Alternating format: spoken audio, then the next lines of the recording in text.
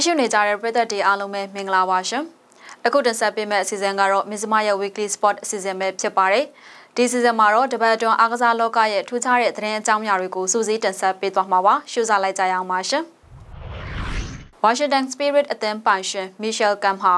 American ဘောလုံးလောကမှာ9နှစ်တာကာလအတွင်း American ဒေါ်လာတန်30ရင်းနှီးမြှုပ်နှံမှာဖြစ်ပြီးတော့မိန်းကလေးငယ်နဲ့အမျိုးသမီးဘောလုံးအစီအစဉ်တွေအတွက်အကြီးမားဆုံးထက်ဝင်သူဖြစ်လာမှာဖြစ်ပါတယ်။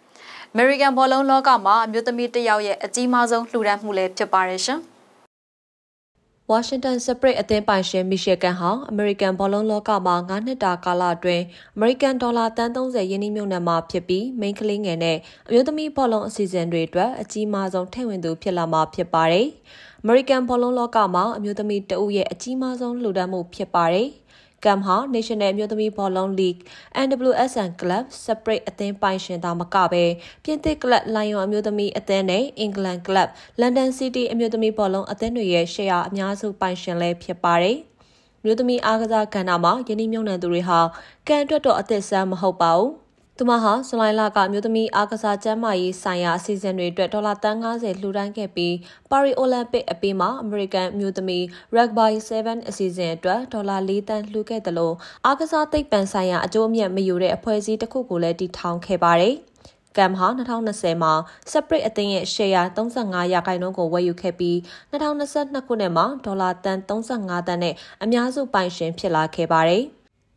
အသင်းဟာစနေနေ့မှာ NWSL ဖလားအတွက် Orlando Price နဲ့ရင်ဆိုင်ရမှာဖြစ်ပါတယ်။အသက်65နှစ်အရွယ်ကမ်ဟာစီးဖက်ဆိုင်ရာနည်းပညာကုမ္ပဏီဖြစ်တဲ့ Cognizant ကုမ္ပဏီရဲ့တည်ထောင်သူနဲ့ CEO ဖြစ်ပါတယ်။မေလမှာ Cognizant ကို Accenture Federal Service ကမဖော်ပြတဲ့ပမာဏတစ်ခုနဲ့ဝယ်ယူခဲ့ပါတယ်။ လန်ဒန်အခြေဆိုင်ကန်ရဲ့ Kaiser Sport International ဟာဇွန်လလမှာစတင်တည်ထောင်ခဲ့ပြီးအမျိုးသမီးအားကစားသမားတွေအတွက်ဖက်နက်တွေထုတ်လုပ်နေတဲ့ IDE Sport မှာအော်တိုဘာလ31ရက်နေ့ကဒေါ်လာ2တန်းယင်းနှိမြုံနှံခဲ့ပါတယ်။ဇန်နဝါရီလမှာကန်ဟာ Baltimore Oreo ရဲ့ပိုင်ဆိုင်မှုအုပ်စုမှာပါဝင်လာခဲ့ပါတယ်ရှင်။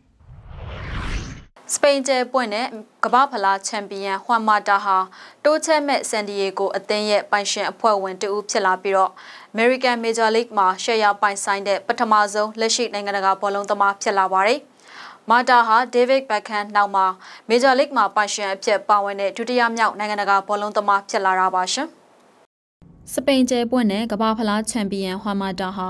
တိုးချဲမဲ့ဆန်ဒီယေဂိုအသင်းရဲ့ပိုင်ဆိုင်ရှင်အဖွဲ့ဝင်တဦးဖြစ်လာပြီး American Major League မှာရှယ်ယာပိုင်ဆိုင်တဲ့ပထမဆုံးလက်ရှိနိုင်ငံတကာဘောလုံးသမားဖြစ်လာပါတယ်။မာတာဟာ David Beckham နောက်မှာ Major League မှာပိုင်ရှင်အဖြစ်ပါဝင်တဲ့ဒုတိယမြောက်နိုင်ငံတကာဘောလုံးသမားဖြစ်လာပါတယ်။ ဆန်ဒီယေဂိုဘောလုံးအသင်းမှာမိတ်ဖက်တူအဖြစ်ပူးပေါင်းပါဝင်လာတာကမယုံနိုင်လောက်အောင်တိုးတက်မှုကြုံတွေ့နေတဲ့မြို့နဲ့ League ပြိုင်ပွဲမှာတကယ်ပဲထူးခြားတဲ့အကြောင်းအရာတစ်ခုကိုတိစောက်ရမှာကူညီဖို့စိတ်လှုပ်ရှားပွဲအခွင့်အလမ်းဖြစ်ပါတယ်လို့မာတာကထုတ်ပြန်ချက်မှာပြောပါတယ်။ Club နဲ့ Right to Dream Academy နှစ်ခုစလုံးရဲ့အတိုင်းဝိုင်းပေါ်ကဂရီကဝတ်ပြုတ်မှုဟာ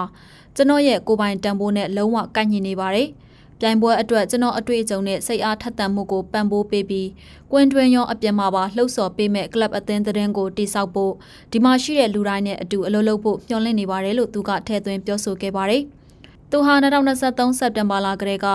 Australia A League Club Western Sydney Wanderers နဲ့အတူရှိနေခဲ့ပါတယ်။မာတာဟာနှစ်ပေါင်းများစွာနိုင်ငံတကာဘောလုံးလောကမှာနာမည်ကြီးကစားသမားတစ်ယောက်ဖြစ်ခဲ့ပါတယ်။ သူဟာအင်္ဂလန်၊စပိန်၊တူရကီနဲ့ဂျပန်တို့ရဲ့ကလပ်အသင်းတွေမှာဖလားတွေရယူခဲ့ပြီး2010ကမ္ဘာဖလားနဲ့2012ဥရောပချန်ပီယံရှစ်တွေကိုဆွတ်ခူးခဲ့တဲ့စပိန်အမျိုးသားလက်ရွေးစင်အသင်းရဲ့ရွှေခေတ်မှာအဓိကကစားသမားတစ်ယောက်ဖြစ်ခဲ့ပါတယ်ရှင်။ခရစ္စတီယာနိုရိုနယ်ဒိုနဲ့ဒေးဗစ်ဘက်ခန်အပါအဝင်ဂနဝင်ဘောလုံးကစားသမားကြီးတွေအသုံးပြုခဲ့တဲ့ Real Madrid အဝတ်လဲခန်းတွေကလော့ကာတွေကိုဆိုဒီပိုင်းလီလန်ပွဲရဲ့တစိမ့်တစ်ပိုင်းအဖြစ်လန်ဒန်မြို့မှာခင်းကျင်းပြသထားပါတယ်။ စပိန်ချန်ပီယံရီယယ်ဒိုဟာ၎င်းတို့ရဲ့အထင်ကရဘာနေဗျူးကိုပြန်လည်တိစောက်ပြီးတဲ့နောက်အသင်းရဲ့အဝတ်လဲခန်းတွေကအပိုင်းစားတွေကိုလေလံတင်ရောင်းချနေတာဖြစ်ပါတယ်။လန်ဒန်လီလန်ပွဲမှာပြသထားတဲ့သမိုင်းဝင် Real Madrid အဝတ်လဲခန်းလော့ကာတွေ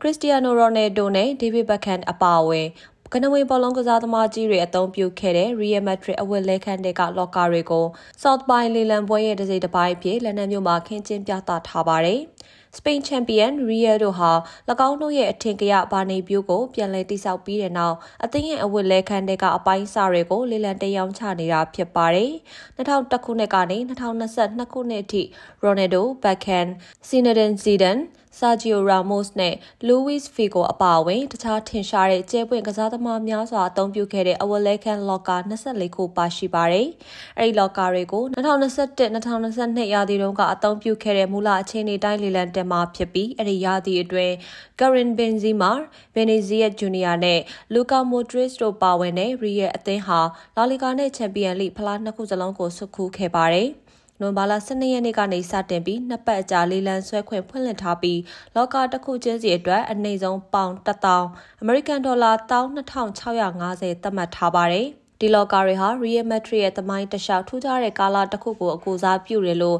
Southern Collection Sales ဌာနအကြီးအကဲ Josh Knock ကပြောပါတယ်။ အဝတ်လဲခင်းလောကတစ်ခုလုံးကိုဈေးကွက်ထဲယူဆောင်လာတာဒီတစ်ခါကပထမဆုံးအကြိမ်ဖြစ်ပြီးဒါက Real Madrid လိုကလပ်အသင်းတသင်းရဲ့ကြော်ကြားမှုနဲ့အဆင့်တန်းတွေကိုပြသနေတာပါနိုမာလာ26ရက်နေ့အထိလန်ဒန်မြို့မှာပြသထားမဲ့လော့ကာတွေမှာစစ်မှန်ကြောင်းအထောက်ထားလက်မှတ်နဲ့သူတို့ကိုအသုံးပြုခဲ့တဲ့ကစားသမားတွေရဲ့စည်ရင်ပါဝင်မှာဖြစ်ပါတယ်။အနေဆုံးဈေးပေါင်12000သတ်မှတ်ထားတဲ့အနှံ3မီတာအကျယ်ရှိတဲ့ Real Madrid ရဲ့ကြီးမားတဲ့အားကစားကွင်းကြောက်စီပကြီးကားလိုတခြားပစ္စည်းတွေလည်းရောင်းချမှာဖြစ်ပါတယ်။ လေလံပွဲကနေရရှိတဲ့ငွေကြေးတချို့ကိုကလပ်ရဲ့ပရာဟိတမိတ်ဖက်အဖွဲ့အစည်းဖြစ်တဲ့ Real Madrid Foundation စီကိုလှူဒန်းသွားမှာဖြစ်ပါတယ်ရှင်။လက်ဘနွန်မျိုးသမီးဘောလုံးသမားဆလင်ဟိုင်တာဟာ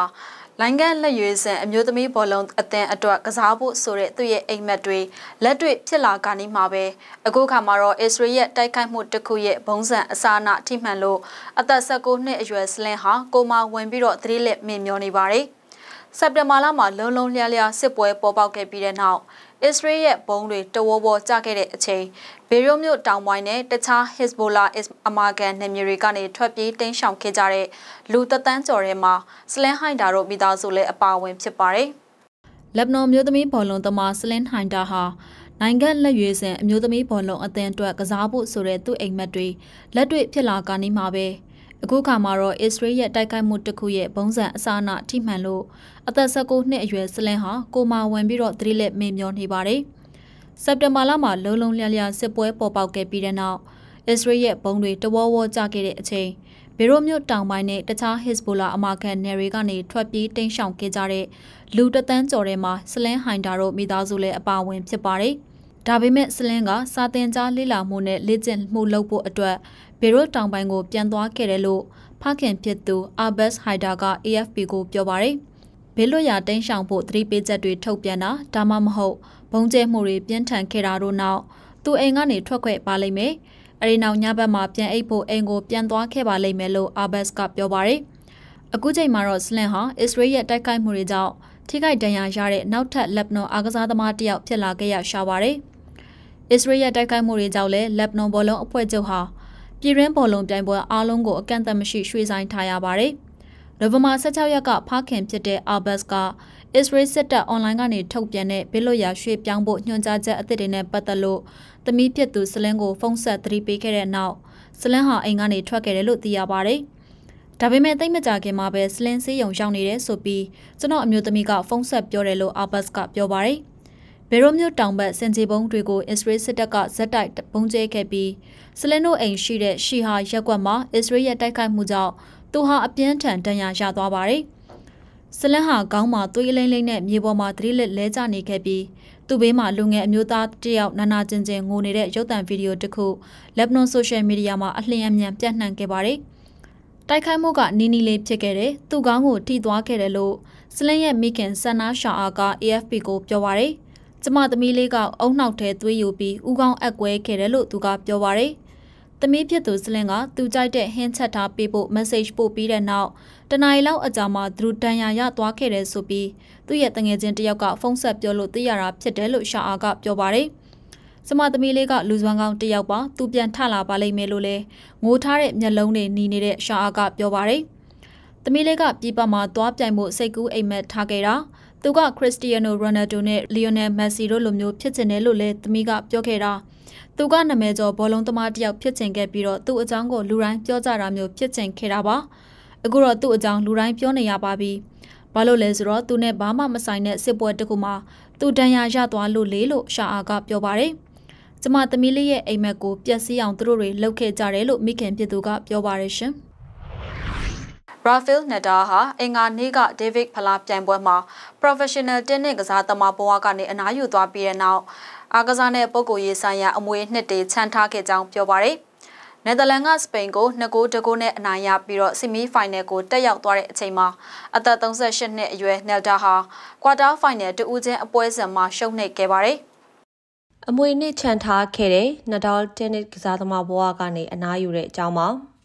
Rafael Nadal ဟာအင်္ဂါနေ့က David Fla ပြိုင်ပွဲမှာ Professional Tennis ကစားသမားဘဝကနေအနားယူသွားပြီးတဲ့နောက်အားကစားနဲ့ပုဂ္ဂိုလ်ရေးဆိုင်ရာအမွေးနှစ်တွေချန်ထားခဲ့ကြောင်းကိုပြောပါရယ်။နယ်သာလန်ကစပိန်ကို2-1နဲ့အနိုင်ရကဆီမီဖိုင်နယ်ကိုတက်ရောက်သွားတဲ့အချိန်မှာအသက်38နှစ်အရွယ်နဒါလ်ဟာကွာတာဖိုင်နယ်တအုပ်ချင်းအဖွဲ့ပွဲစဉ်မှာရှုံးနိမ့်ခဲ့ပါတယ်။ Grand Slam ဆုဖလား22ကြိမ်ရရှိထားသူနဒါဟာလွန်ခဲ့တဲ့နှစ်ပေါင်း23နှစ်အတွင်းတောက်ပတဲ့သမိုင်းဝင်ကစားသမားဘဝကိုပိုင်ဆိုင်ခဲ့ပါတယ်။ ကျွန်တော်အမွေနှစ်တစ်ခုချန်ထားခဲ့တယ်ဆိုတဲ့စိတ်အေးချမ်းသာမှုနဲ့ထွက်ခွာသွားမှာပါဒါကအားကစားပိုင်းဆိုင်ရာတစ်ခုတည်းမဟုတ်ပဲပုံကိုရေးဆိုင်ရာလည်းဖြစ်တယ်လို့ကျွန်တော်တကယ်ခံစားရပါတယ်လို့နထားကောင်မာလာဂါမြို့မှာသူ့ရဲ့ကစားသမားဘဝအနားယူခြင်းကိုဂုဏ်ပြုတဲ့အခမ်းအနားမှာပရိသတ်တွေကိုပြောကြားခဲ့တာပါ tennis square နဲ့ကဖြစ်ပျက်ခဲ့တာတွေကြောင့်သာဆိုရင်ကျွန်တော်ရရှိခဲ့တဲ့မေတ္တာတရားတွေကဒီလောက်မဖြစ်နိုင်ဘူးဆိုတာကျွန်တော်နားလည်ပါတယ်လို့လည်းထပ်ပြောခဲ့ပါတယ်။ နဒါဟာငယ်တဲ့ဘဝကလေးကကစားသမားဘဝအများစုကိုတင် जा ပေးခဲ့တဲ့ဦးလေးထိုနီနဒါလ်အပါအဝင်သူ့ကိုကူညီပံ့ပိုးပေးခဲ့သူအများအပြားကိုကျေးဇူးတင်စကားပြောကြားခဲ့ပါတယ်။စုတစိတ်တွေစံချိန်တွေကရှိပြီးသားပါ။ဒါကြောင့်လူတွေကအဲ့ဒါနဲ့ကောင်းကောင်းကြီးသိကြမှာပါ။ဒါပေမဲ့ကျွန်တော်ကိုမှတ်မိစေချင်တာကမာယောကာကျွန်းကကြေးရွာလေးတရွာကလူကောင်းတယောက်အနေနဲ့ပါလို့နဒါကဆက်ပြောပါတယ်။ ကျွန်တော်အတော့ကိုငငယ်လေးကလေးကကျွန်တော်ရွာမှာတန်နစ်နီးပြဖြစ်တဲ့ဦးလေးတယောက်ရှိခဲ့တာအချိန်တိုင်းပတ်မိုးပေးတဲ့မိသားစုကောင်းရှိခဲ့တာဟာကံကောင်းခဲ့တာပါသူတို့ရဲ့အိမ်မက်တွေကိုလိုက်လံဖော်ဆောင်ခဲ့ပြီးကိုမျိုးလင်ထားတာထက်တောင်ပိုပြီးအောင်မြင်မှုရခဲ့တဲ့ကလေးတယောက်အနေနဲ့ရောလူကောင်းတယောက်အနေနဲ့ပါမှတ်မိစေချင်ပါတယ်လို့ဆက်ပြောခဲ့ပါတယ် မာလာဂါမျိုးကမာတင်ကာပီနာကွင်းမှာပရိသတ်တထောင်ကျော်ကနဒါရဲ့ကစားသမားဘဝအဆုံးသက်ပွဲကိုလာရောက်ကြည့်ရှုခဲ့ကြပြီးကွင်းပတ်လည်ကဖန်သားပြင်ကြီးတွေပေါ်မှာနဒါရဲ့ဘဝခီးကိုစူးစီးပြသတဲ့ဗီဒီယိုနဲ့ဂုဏ်ပြုခဲ့ကြပါတယ်။ ပြိုင်ဘက်ဟောင်းတွေဖြစ်တဲ့ Roger Federer, Novak Djokovic, Andy Murray, Serena Williams နဲ့တခြား tennis ကစားသမားကြီးတွေကဗီဒီယိုမှာ message တွေပို့ပေးခဲ့ကြပြီး Raul နဲ့အော်တိုဘာလကကစားသမားဘဝကအနားယူခဲ့တဲ့ Andres Iniesta တို့လိုစပိန်ဘောလုံးကစားသမားဟောင်းတွေလည်းပါဝင်ခဲ့ပါတယ်။ကျွန်တော် professional tennis လောကကိုထွက်ခွာသွားတော့မယ်ဒီခီးလန်းတစ်လျှောက်မှာမိတ်ဆွေကောင်းတွေအများကြီးနဲ့တွေ့ဆုံရင်းနှီးခွင့်ရခဲ့တယ်လို့နဒါလ်ကစိတ်ခံစားချက်အပြည့်နဲ့ပြောပါတယ် စပိန်လူမျိုးနဒါဟာလာမယ့်နှစ်တွေမှာ tennis ကစားသမားရဲ့တာတမန်ကောင်းတအုပ်ဖြစ်လိမ့်မယ်လို့မျှော်လင့်ကြောင်းနဲ့အနားယူခြင်းကိုမကြောက်မရွံ့ကြောင်းပြောပါတယ်။နောက်ပါရီလာမလဲဆိုတာကိုရင်ဆိုင်ဖို့တင်ကြားခွင့်တွေကောင်းကောင်းရှိခဲ့တယ်လို့စိတ်လက်အေးရှိပါတယ်လို့သူကရှင်းပြခဲ့ပါတယ်။ကျွန်တော်ကိုနေ့စဉ်လိုအပ်တာတွေမှာကူညီပေးနေတဲ့မိသားစုကောင်းတစုရှိနေပါတယ်လို့ထပ်မံပြောခဲ့ပါတယ်ရှင်။ မဇ္ဈိမရဲ့ weekly sport အစီအစဉ်ကိုတင်ဆက်ပေးခဲ့တာဖြစ်ပါတယ်။နောက်ပတ်တွေမှာလည်းထူးခြားတဲ့အားကစားသတင်းတွေနဲ့အတူပြန်လည်ဆုံတွေ့ချင်ပါသေးတယ်။ကြည့်ရှုအားပေးသူတယောက်ချင်းစီတိုင်းကိုကျေးဇူးအထူးပဲတင်ရှိပါရရှင်။